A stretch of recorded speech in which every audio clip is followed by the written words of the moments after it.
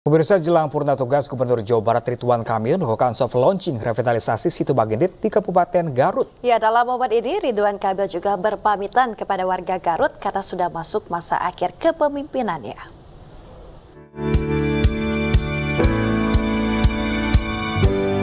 Situ Bagendit di Kabupaten Garut, Jawa Barat diresmikan Gubernur Jawa Barat Ridwan Kamil.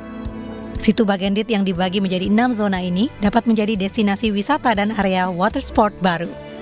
Peresmian ini juga menjadi momen berpamitan Kang Emil yang akan mengakhiri masa jabatannya awal September mendatang. Selama lima tahun kami gubernur, saya laporkan ke masyarakat Garut, kita menghadirkan 548 perubahan dalam bentuk 548 penghargaan uh, dari seluruh bidang dan ini berkat doa dan kerjasama. Terima kasih warga Garut yang sudah mempercayai saya sebagai gubernurnya. Sementara itu di Indramayu, Gubernur Jawa Barat Ridwan Kamil juga meresmikan Masjid Jami Al-Karomah di Desa Tanajar, Kecamatan Kertasemaya. Masjid yang bisa menampung seribu jemaah ini dalam pembangunannya mendapatkan dukungan dari pemerintah Provinsi Jawa Barat. Tim Liputan iNews melaporkan.